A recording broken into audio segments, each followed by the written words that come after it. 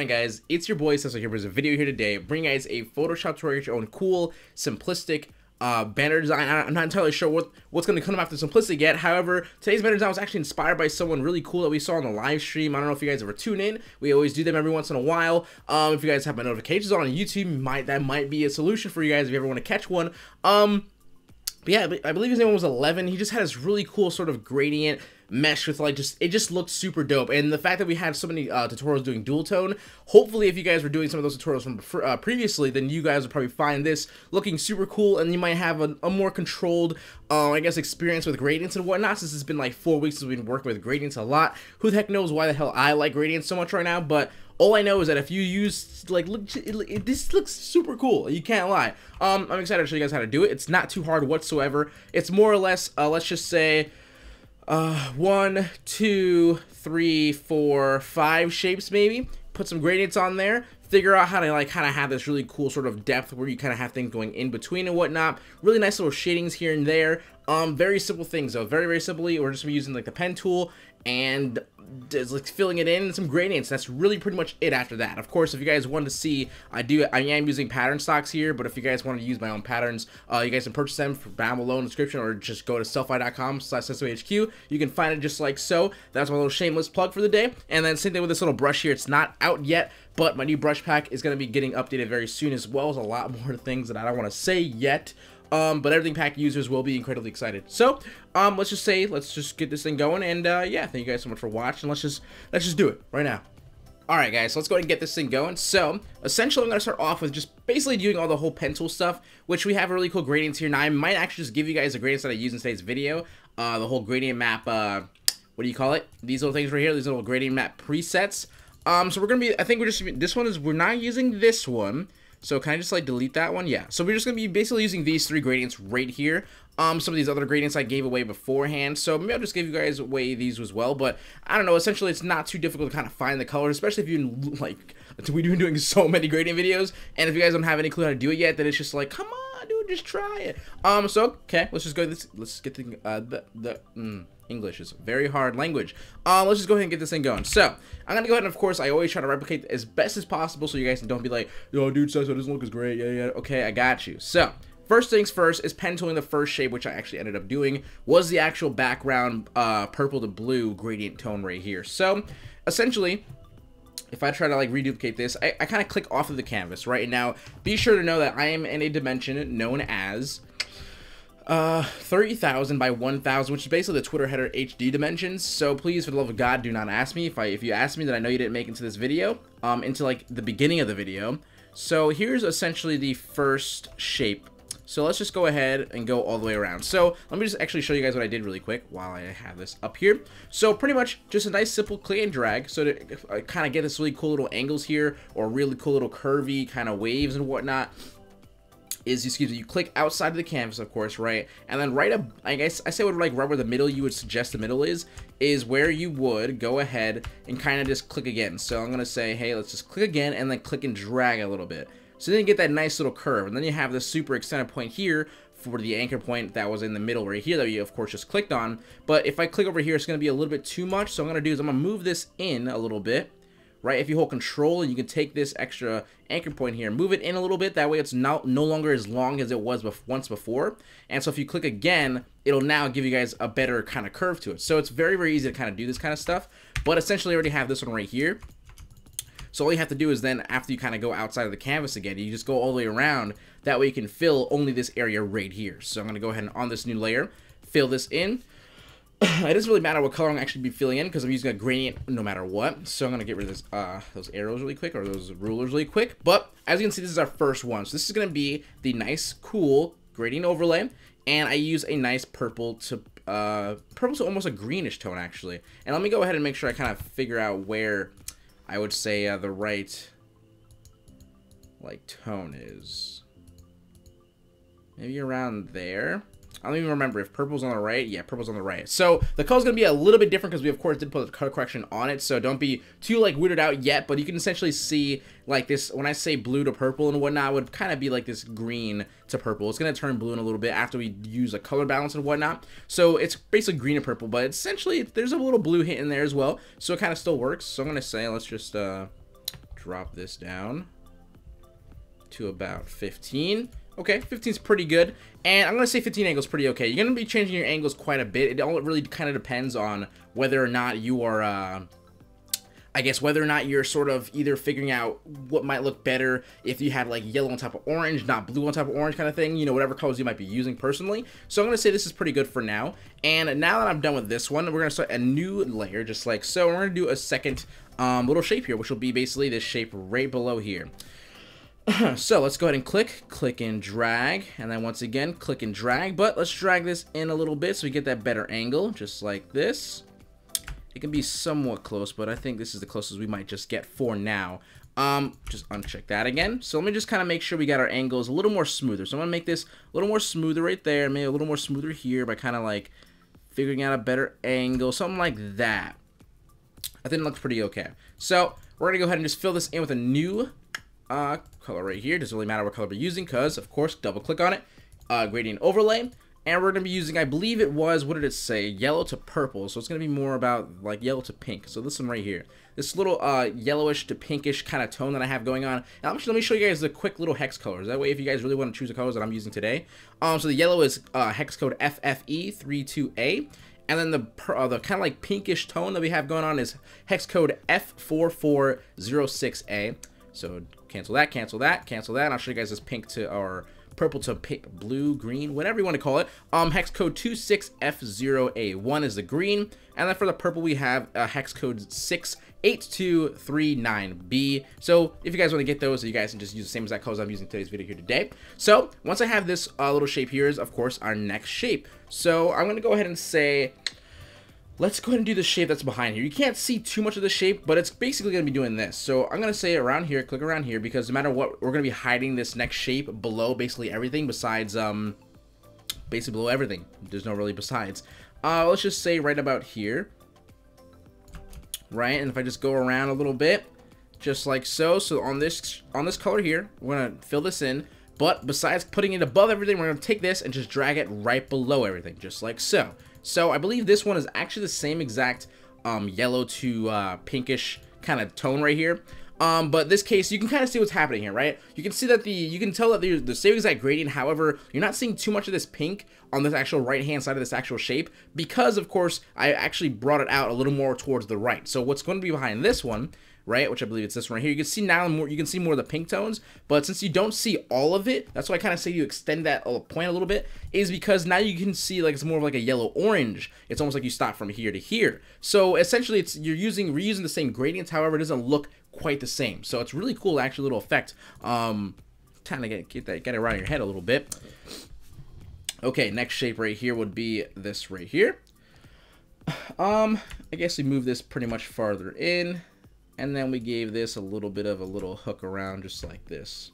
Let's see if we got to go back and kind of fix our angles a little bit more, make it a little more rounded. So I'm going to kind of bring this in, move that around, maybe something like this. Let me bring this like that. Mm, nah. Maybe like that. Okay, let's say like that's pretty okay. And so we're gonna fill this in, of course, on our new layer. Put it below, uh, put it above everything. Excuse me. And we're to simply just take our gradient here, and I believe that this one I used was the orange to uh, kind of like a, I guess, a duller or less vibrant orange um, gradient right here, which hex code is, hold on, let me show you the hex code. For the orange, for the more saturated orange, would be hex code FF3D3D. And then for this more kind of like I guess, skin tone almost, not really, but you can see what I'm saying. Uh, hex code FFA656. So those are the oranges that I use press OK, press OK again. And then I did one more color, basically one more shape, excuse me, below this shape right here, simply to fill in this white area space. So you can put it above, below everything, but essentially you just really need to put it below that shape that you just created before for the orange to orange, really. So, just like this, fill this in, double click on here, take the gradient overlay, and so, oh, no, it doesn't have, to, it does have to be below everything. My apologies. So I'm to go ahead and change this and reverse this one. So I'm to make this one more toward orange to a red. And I might change my angle a little bit more so I kind of have, there we go, almost like a nice little fuller tone going on. So basically you can see what's going on already is actually pretty gosh darn accurate to what I had previously right? So we have kind of like that background um shape. It's that, that, kind of background color. That's essentially the same color as the top shape right here. But I changed the angle a little bit on the gradient. That way you can actually see kind of changes the uh, I guess the ratio of how it's actually splitting the two colors together. So if you kind of figure out, that's what I mean by figuring out like what kind of works best for you. Um, essentially what's kind of next is sort of uh i guess you would say is kind of like let's just do the text really quick let's put the text in here the font that i use in the uh, video here today is called urine urine niam or something like that we're gonna type in the word imagine and if i spell the word imagine wrong i don't know i'm not even gonna google it because usually i google things just to make sure um okay let's make it a little bit bigger oops i pressed control y to change it to c-n-y-m-k don't want to do that uh, let's say that that's pretty accurate to what I had previously, just maybe a little bit bigger, more towards this way. Let's just say that's okay. And then I had the words create on the bottom. So imagine, and then of course create, dudes. That's kind of like the whole, uh, whole premise. Next font is what I used, and I'm gonna take this, shrink this down. Add a little subtext here, please. What did, what happened? Okay. I pressed Control Y again. Okay, so a little subtext, put that baby like right in the middle is where I had it. Uh, yeah, let's just say that's pretty okay for now. So, imagine, create, and uh, so yeah, essentially this is pretty much the start of actually using the color corrections, working on some of your tones of balancing and whatnot, but essentially we're pretty much in a, in a sense, we're done, right? So what's pretty much up next is to say, I'm to do the color correction and right, excuse me, right after that I'm going to use basically these little uh, kind of like circles, and they're using the marquee tool a little bit to actually fill in some, um, some patterns that you might personally have yourself. If you don't have the ones that I'm using in today's video, of course, if you guys didn't purchase it and whatnot for myself, I store, you can go ahead and I believe I gave away um like the circle like dot ones like this one right here in my pre, like my latest video or the one before this one I believe. Um so yeah if you guys want to go ahead and choose to you know download that you guys can go ahead and for sure go ahead and go download that one. At least at least you have some kind of cool um like hex tone hex hatch pattern. What is it called? Half tone pattern? Um so yeah let's go ahead and do that really quick. So uh, the color balance that I use with those colors that I gave you guys would be, I believe it was positive 25, uh, negative 50, positive 100. Here we go. Now we have the tone of colors that I had previously. You can see now it looks really, really nice and pretty. Almost kind of like just kind of blends it all together and looks really, really dope, honestly. So what I'm going to do really quickly now is I'm going to take a simple soft brush. So I'm gonna take a nice soft brush. It means take a nice little uh, regular default brush, take your hardness, throw that down to zero. And I'm gonna do is I'm gonna just simply click on the pink, just click once. So click on this purple, click once here, click on this bluish tone, click once there. Let's click on this like orangey kind of color and click once there. Now I don't know exactly which one I use. I believe it what might have been like uh, it might have been not overlay. I'm trying to remember what it was essentially, but it didn't really matter too much because I know I remember lowering it down to about 25% opacity. What this is going to do is what I'm going to do is going to set myself up. So when I have this little uh, little light fixtures and light I said light fixtures again. I've been watching too much uh, house flipping, whatever. I forgot what it's called. Um, you the reason why I use these little lights to kind of like uh, I put around these little brushes of hits of lights is because if I use a brightness and contrast, you can see that it pulls the that even that 25% opacity out just enough, right? So I'm gonna say let's just say negative uh, I don't want to be too much, so negative 9 or negative 8 for the brightness, which is kind of like, going to dull things out a little bit, and the contrast is going to, of course, kind of like take that dull and just make it look super punchy, so about maybe 10 or so. Let's see what that looks like. I say that's pretty, pretty accurate to what I kind of had imagining going on here. So, um, okay, next up would pretty much be, let's just do this little bit of a little circle things really quick. It's actually pretty freaking cool. So, um, essentially, what you're going to do is kind of figure out where you want to put your circle. So I'm going to put my one circle right here. Of course, I had the uh, little example that I showed you guys. So I'm going to put my circle right about here. Okay, so on this circle right here, let me see if it kind of like, yeah, it did go below it. So I'm going to take this circle, I'm going to fill this circle in, um, make a new layer, fill the circle in with any color whatsoever, it does not matter really, um, because of course you're going to be putting a gradient overlay on it, or if you were putting a pattern on it, you it doesn't really matter either, you can just lower your fill down to zero. So Control D to deselect once you've made your circle with this marquee tool. The way I made it very nice and cleanly, by the way, if I just do it again, Control D deselect, if I hold Alt and Shift, click, and I just, while I'm holding Alt and Shift, just move it just like so like I'm doing, and it just comes out. Nice perfect circle exactly where you click it'll stay there and it's very simple right? So alt backspace to quick fill a color in and you're all good to go essentially. Okay let's go ahead and drop in that color that I used which I believe was the uh, blue to purple right? This little blue to purple let's reverse it. Now let's change the angle a little bit that way we get a better uh, look to it about maybe what if we reversed it kind of like what if it was more over here right? I think, yeah, that looks better because we have, of course, blue on this side already, so let's put purple on that side. So, essentially what I'm going to do is I'm going to take and find out where that purple one is. So, I believe it's this one right here. Take that purple, um, kind of ratioed uh, gradient here, and take that shape that you just created, put that below that. So now we have this really cool sort of like offset, breaking these tones of color, almost mixing these purple and oranges together as well, but just making things look really nice and cohesive. It looks really good, honestly. So what's to happen here is I'm to take this little shape here, and to make it look like it's actually, uh, I guess, under this purple one only, and it's above this one right here, which happens to be, I believe, this shape. Um, where is that shape? This shape right here. We're to have to do is simply just Alt and hold Alt while you're holding Alt and drag this layer up above where that is, right? So that way it's above this shape here. So you're to have two of the same shape. So orange, orange, those two orange layers right there are actually the same exact um, thing. So essentially what's to happen here is if you hold control and you click on the thumbnail of that little shape that you might have made to be, I guess, in front of the actual circle, right? You hold control, press M on your keyboard, which brings up the marquee tool selection. That way what's going to give you the option when you right click to select the inverse. So what's to happen here is you can just simply press delete on your keyboard on that circle. And what's to happen here is now you have a circle and you have a nice cool little uh, kind of looks like it's only behind it, right? So you can't really get this effect essentially if you were, um, I guess, doing everything the correct kind of like the correct building method in the start. So to kind of like, I guess, annihilate that option and kind of give you guys that free creativity flow of wherever you want to put these cool little shapes in, um, just know how to actually put things behind it in front. Because if I want to, if I want to put it in front, this right here, um, let's see. I didn't do that before, but let's just find out where it is. It's very simple. I believe it's going to be the one on the top. So take this shape, duplicate it again. Right? Um, where is it? Mm hmm Or is it not going to be there because, uh, let me see. Because, oh, that's the wrong shape. You idiot. This one, the fuller one, right? So there it goes. What I'm to do now is I'm to hold control, hold control on this thumbnail, and then select the inverse of it while pressing on my keyboard, delete it, and now it looks like it's above it. Um, it looks kind of weird though, only because, I guess only because it's gonna like kind of get rid of the whole, I guess the gradient. If I really want to, if I just click on the gradient overlay again, maybe just mess around with the angle a little more, it'll, it'll be less, like less of a weird, awkward break.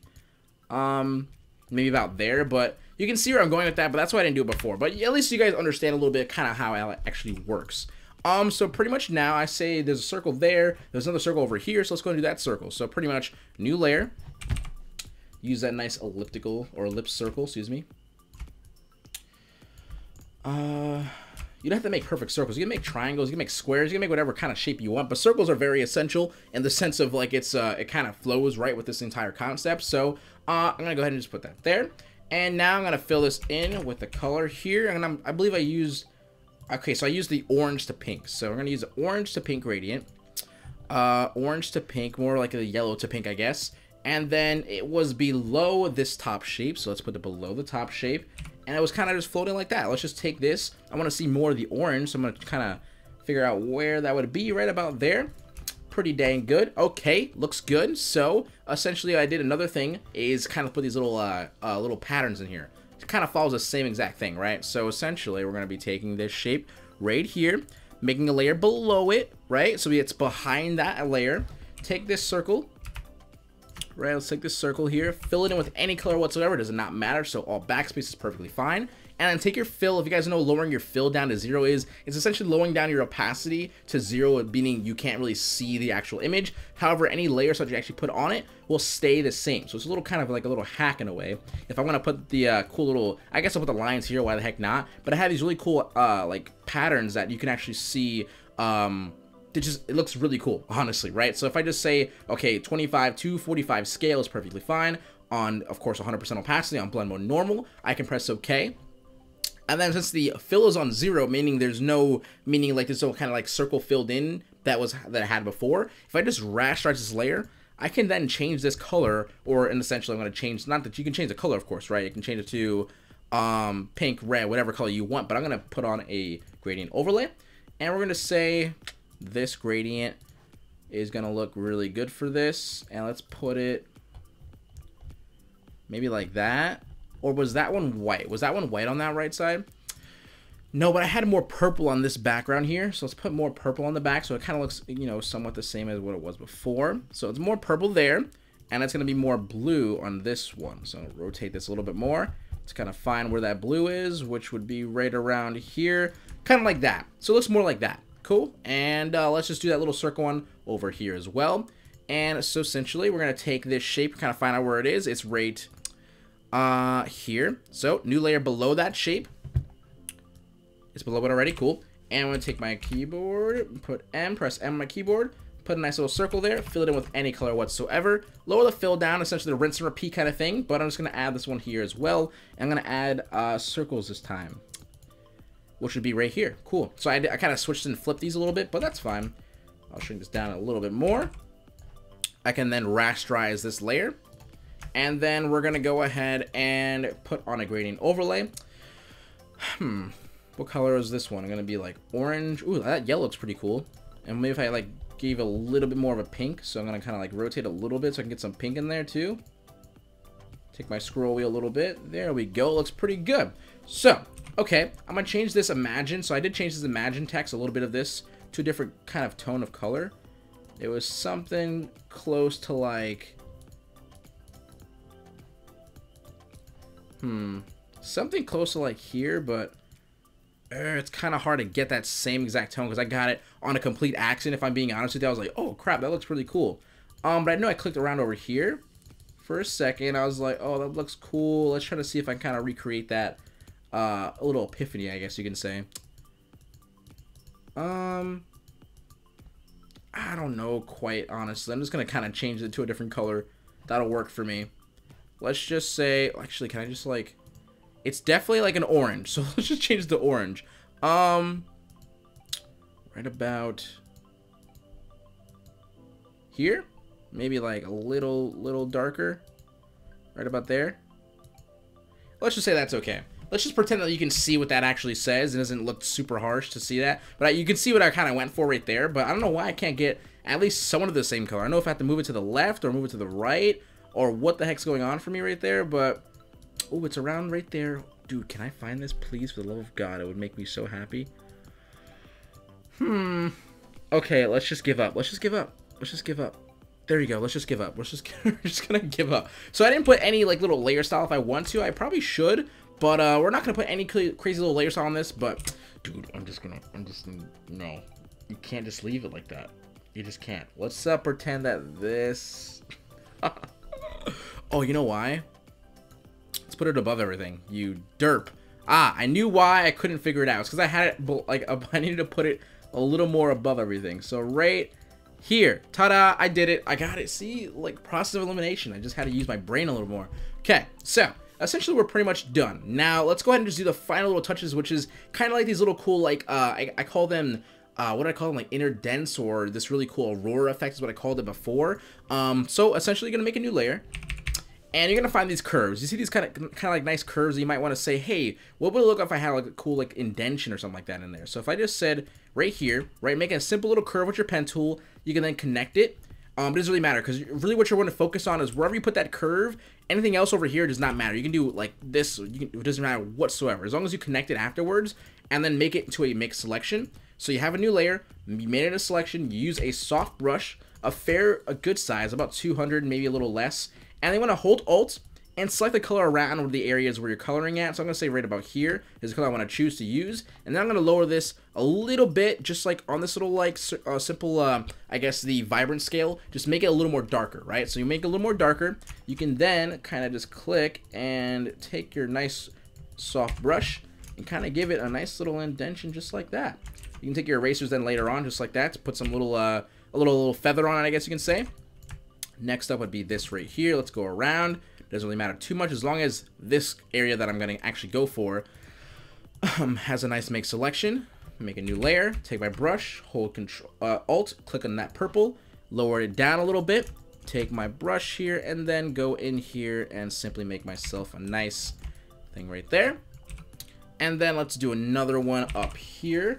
So pen tool, make a curve. I want to do another curve. I can just like make it go like that or do something weird and crazy, why the heck not, and then connect it. Once I connect it, right click, make selection, press OK on a new layer, press B on your keyboard for the brush, soft brush, hold Alt, click on the color, click on the color again, make it a little more dull, just like so. And then take your brush and then go in again, just like this. So it's a really cool little, uh, it's almost like a almost like a bevel, almost like a sharpen kind of feel to it. It's really cool though when you put your mind to and kind of get these really, really nice looks to it. And maybe who the heck knows? What if I just took the first one here and like duplicated it twice for that one? Maybe I took this one and like, I don't know, maybe duplicated it three times, right? You never know what looks good unless you try. Honestly, I would say just keep trying and see what happens. You might you might figure out looks really good. So, uh, pretty much the last thing to get this really cool, rich, darkish tone is you want to take everything. Click on the first layer. So the first layer, that's whatever's on the top of your layer. Click on that. Go on the bottom. Hold Shift to click on the bottom layer then to select everything in between. So you want to select basically everything. Control J to duplicate it every, uh, everything, and then Control E to merge it all together. What's going to happen here now is you're going to take your blend mode from normal, and you're going to put it on multiply. You're going to lower this down to about, I don't know, let's see. Let's say 45 opacity. You want to then take your eraser, and then just erase around a couple spots. You're going to just kind of find out it's like a nice, it's almost like giving you guys more tones of color and not just like the simple two that you were working with previously. So, if you just click nice and sparely, you can see what kind of happens, and it looks pretty dang good. You can see the difference, right? You can kind of see, it kind of gives it almost like a little bit of a depth. Um, so that's pretty much it.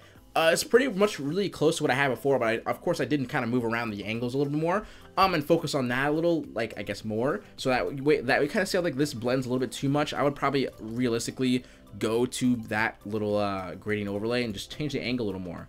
Um, but I can't do that since I already have that duplicated. So it's not gonna really, you can't really see all of what's changing.